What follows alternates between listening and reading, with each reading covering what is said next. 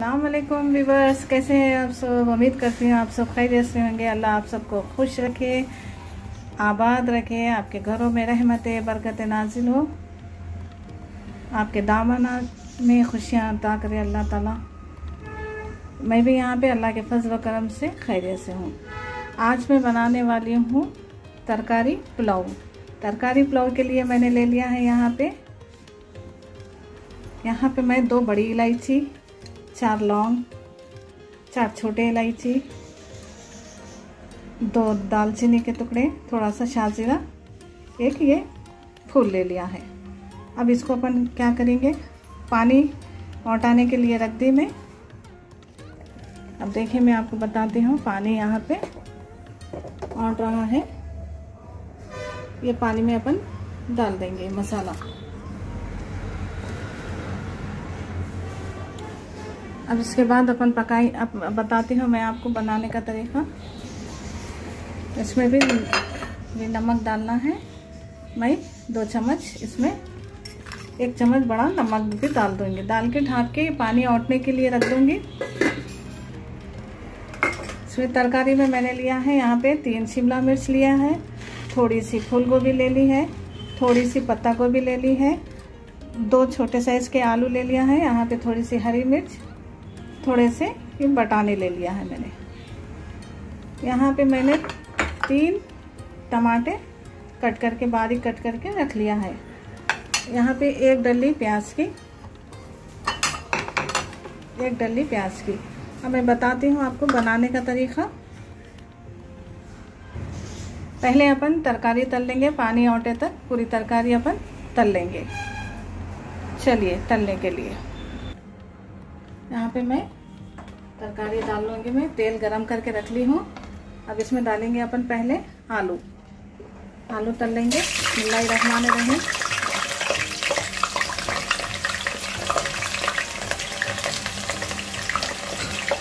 आलू को तलने के निकाल लेंगे।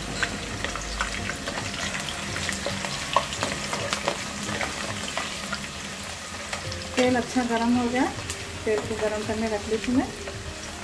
आप लोग जो भी चाहे, इसमें तरकारी डाल सकते हैं। इसमें बैगन, गाजर, मैंने यहाँ पे गाजर नहीं डाला क्यों तो स्वीट बना आता उससे मीठापन आ जाता। तो ये बच्चों को पसंद नहीं आता, इसलिए मैं इसमें गाजर को कैरेट को कैंसिल कर दी। तो आप लोग चाहे तो डाल सकते बैगन भी डाल सकते गाजर भी डाल सकते और जो भी तरकारियाँ हैं अच्छा डाल सकते इसमें। मैंने यहाँ पे आलू कैबेज कॉलीफ्लावर शिमला मिर्च, टमाटे। ले लिए। आलू जब तक तलना है इसके ऊपर, थोड़ी सी लाली आ जाना आलू के ऊपर, जब तक तलना आलू। ये देखिए आप, जरी सी लाली आ गई इसके ऊपर, थोड़ा से गोल्डन हो गई है। अब इसको अपन निकाल लेंगे, ज़्यादा नहीं तलना। मैंने एक किलो चावल लिया है, एक किलो चावल के लिए मैंने इतनी तरकारी ले ली है। रही इसको हम निकाल लेंगे इसमें डिश में। पूरी तरकारी ऐसी ही तल के निकाल लेंगे। यहाँ पे तल लेंगे अपन कॉलीफ्लावर कॉलीफ्लावर को आप नमक के पानी से अच्छा धो के बारीक कट करके इसको रख दिया है। इसको भी अच्छी तरह से तल लेंगे। थोड़ी सी ब्राउन हो गए तक इसको कर लेंगे। थोड़ी ज़्यादा में थोड़ा सा कर लेंगे। फ्लेम हाई पे रखेंगे। मैंने वहाँ पे अधन चढ़ा दिया है, चावल का। अधन भी हो गया, देखेंगे। पानी हो गया, चावल डाल देंगे, जब तक ये तरकारी का काम हो जाता है। यहाँ पे गोभी भी हो गई। गोभी तल के निकाल लेंगे देखिए आप ज़रा थोड़ी थोड़ी ब्राउन हो गई है। ज़्यादा नहीं तलना इसको। थोड़ी सी तलना, ज़्यादा नहीं तलना। देखिए इसको भी निकाल लेंगे तेल अच्छा।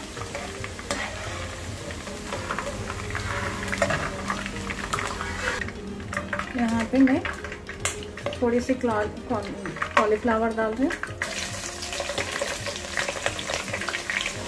कैबेज डाल दें या थोड़ी सी कैबेज भी कर लेंगे अपन। यहाँ पे कैबेज को भी मैं अच्छा कर ली, इसको भी निकाल लेंगे अपन।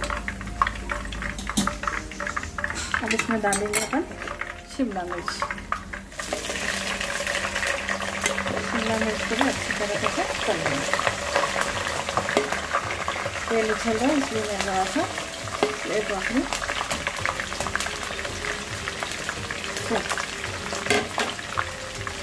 आप जो चाहे इसमें तरकारी डाल सकते यहाँ पे शिमला मिर्च भी मैं तल ली हूँ, इसको भी निकाल ले रही हूँ।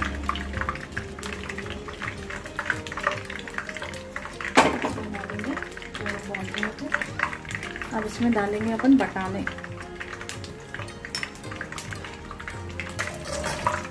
से के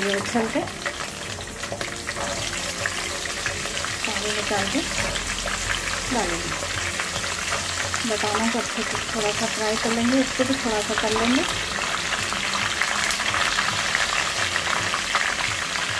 इसमें चाहे तो बिनीज की फली गवार की फली आपके पास जो तरकारियाँ हैं वो डाल सकते हैं। बिनीज की फली भी डाल सकते हैं, सेम की फली भी डाल सकते हैं, गाजर और क्या है वो? शलजम। वाइट जो होता है, शल शलगम डाल सकते हैं। शलजम नहीं रेड कलर का आता तो वो नहीं डालना। वाइट कलर का आता तो वो डालना। यहाँ पे मैंने ये हो गए।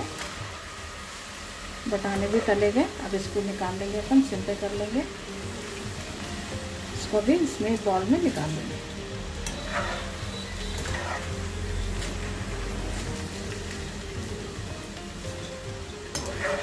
अच्छी होती, बहुत टेस्टी होती और पानी भी, पानी उठ गया चावल डालना है। यहाँ पे मैंने तल लिया है, सब तरकारियाँ पूरे तल ली हूँ। अब इसमें डालेंगे अपन प्याज। यहाँ पे मैं एक डली प्याज के लिए हूँ। प्याज कर लेंगे।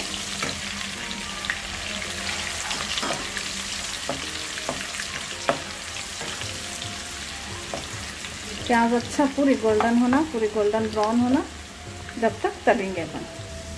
यहाँ पे प्याज अच्छी गोल्डन ब्राउन हो गई। अब इसमें डालेंगे अपन अदरक लहसुन।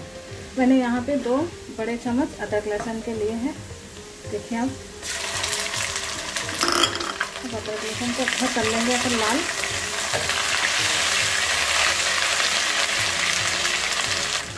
अदरक लहसुन अच्छा लाल होगा। यहाँ पे मैंने एक चम्मच लाल मिर्च ली है, आधा चम्मच हल्दी, एक छोटा चम्मच यहाँ पे मैंने गरम मसाला लिया है, ये डाल देंगे अपन। इसको अच्छा तल लेंगे ज़रा। तलने के बाद इसमें डालेंगे अपन टमाटे। मैंने यहाँ बड़े साइज़ के तीन टमाटे जो बारीक काट लिए हैं, वो डाल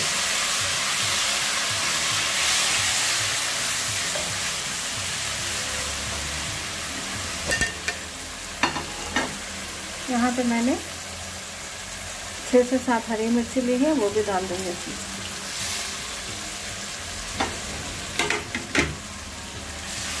और इसको अच्छा टमाटर को अच्छा भून लेंगे।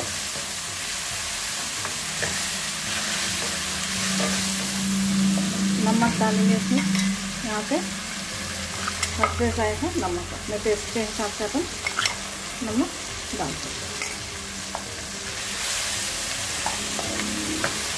नमक अच्छा बराबर रहना कम नहीं रहना चावल में। या तो खिचड़ी दिखती बिरयानी।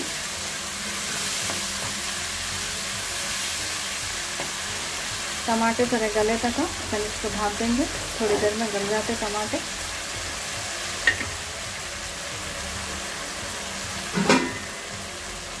थोड़ी देर इसको ढाँप के, दो मिनट सिम पे कर लेंगे। यहाँ पे टमाटे अच्छा गल गए। अब इसको अपन जल्दी देर भून लेंगे। अच्छा भून लेना इसको। बारीक काटे तो टमाटे जल्दी गल जाते। देखिए आप, मैंने अभी डाला, अभी गल गए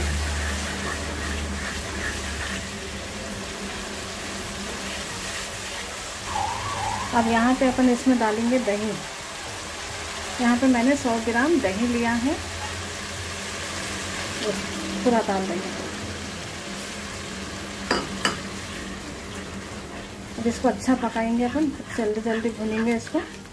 नहीं तो ये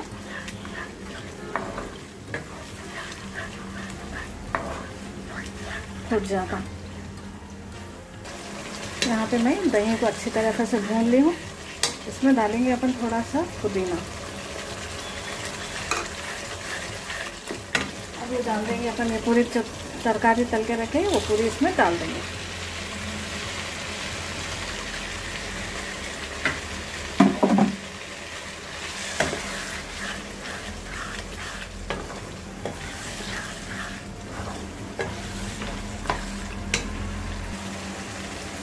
इसमें डालेंगे अपन थोड़ी सी काली मिर्च, यानी कि आधे से भी आधा चमचा काली मिर्च।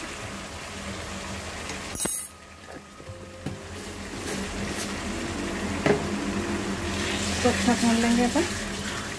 देखिए, ये हो गया। इसको हटा लेंगे। अब यहाँ पे रखेंगे अपन चावल का पानी। जो और गया है, अब चावल डाल लेंगे अपन। इसको हटा लेंगे अपन। तो बंद करके अब ये इसका कुछ भी काम नहीं है, अब इसको हम हटा लेंगे यहाँ पे ये चूल्हे पे रख देंगे अपन चावल का पानी। जो पहले से हो गया है, अब थोड़ा सा आटे बाद में। चावल औट गया है, पानी यहाँ पे, इसको हाई पे करेंगे। यहाँ पे मैंने एक किलो चावल लिया है।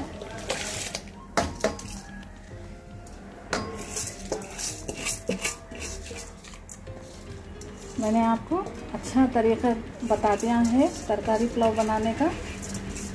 यही तरीके से बनाए ना आप लोग। आप तरकारियों में अपने हिसाब से अपन तरकारी डाल सकते।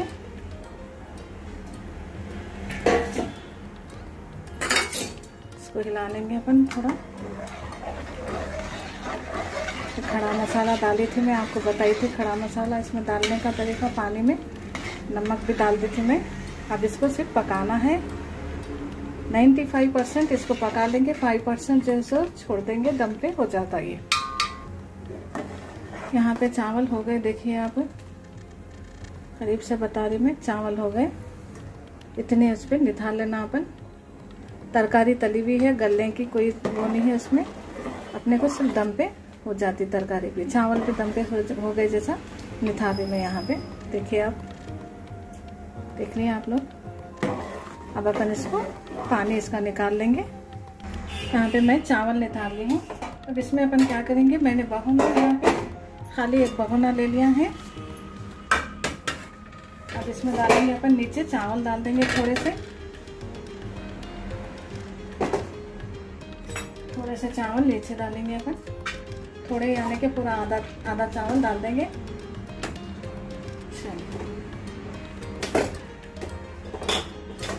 आधा चावल नीचे डाल देंगे अपन।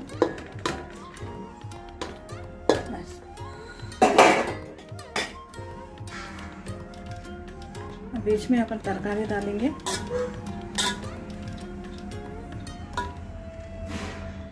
यहाँ पे मैं थोड़ा सा बिरयानी पाउडर डाल रही हूँ, मैं थोड़ा सा पाउडर, बिरयानी पाउडर। इसमें। और ये थोड़ी तली हुई प्याज है, चावल में डाल रही हूँ मैं। यहाँ पे कोथिमीर पुदीना है थोड़ा सा ये भी डाल रही मैं।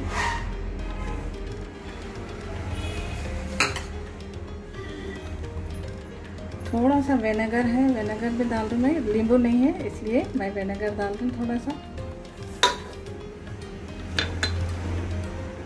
इसमें और थोड़ा सा तेल डालेंगे।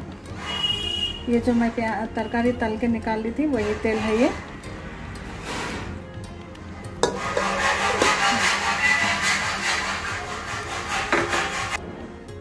जो तरकारी तल के रखी थी, वो तरकारी इसमें डाल लेंगे।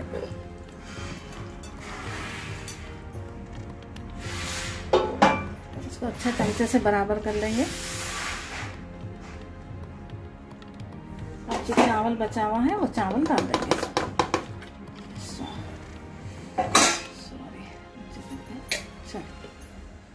इसको हम पूरा अच्छी तरह से साफ़ करके डाल देंगे। भी अच्छा जरे से कनी है, वो तन पे हो जाता।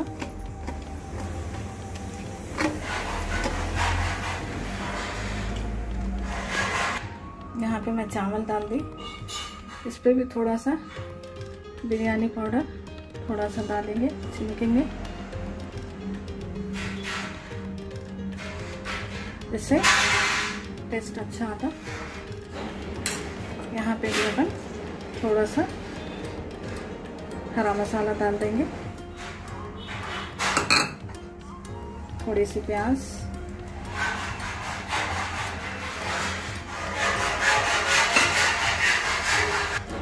यहाँ पे मैं ये धो के ज़रा सा पानी डाल हूँ ये दम पे। चावल भी अच्छा हो जाना। यहाँ पे डाल रही हूँ मैं। अब यहाँ पे चूल्हा सुलगा लेंगे दम के लिए। और ये जो तेल था, वो तेल भी थोड़ा सा डाल देंगे इसमें। बस। यहाँ पे डालेंगे अपनी ज़ाफ़रानी कलर, जो मैं यहाँ पे पहले से मिला के रखी हूँ। इसमें चाहे तो थोड़ा सा दूध भी डाल सकते अब इसको अपन ढाप लेंगे अच्छे इस पर वज़न रखना अच्छा। इसको थोड़ी देर हाई पे पका के अपन लो फ्लेम पे कर देंगे। यहाँ पे दो से तीन मिनट हो गए, अपन देखेंगे खोल के। रहीम देखिए आप अच्छा दम हो गया थोड़ा सा और रखेंगे। यहाँ पे देखिए आप, हो गया है। अब इसको अपन डिश आउट करके बताती हूँ आपको यहाँ पे तरकारी पुलाव बन के तैयार है। देख लिए आप लोग, बनने में भी आसान है और मज़े में भी बहुत टेस्टी होती है। बना कर देखिए आप लोग आप लोग चाहें तो इसमें जो चाहे तरकारी डाल सकते हैं। मैंने यहाँ पे जो डाला है, आपको बताया है। तरीक़ा बता दी मैं आपको तरकारी पुलाव बनाने का। पसंद आया तो लाइक करिए शेयर करिए सब्सक्राइब करिए। बेल आइकॉन को दबा लिए ताकि सबसे पहले रेसिपी आप तक पहुँचे। दुआओं में अतीफ़ा को याद रखिए। अब दीजिए इजाज़त। कल फिर एक नई रेसिपी लेकर मिलूँगी। अल्लाह हाफिज़।